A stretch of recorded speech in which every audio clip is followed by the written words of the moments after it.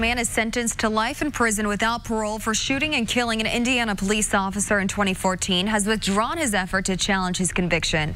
Carl Ellis Blount filed a petition last year alleging Lake County prosecutors threatened him to get him to plead guilty to murder in the shooting death of Gary officer Jeffrey Westerfield. He said prosecutors threatened to file murder charges against him in two other cases and to seek the death penalty.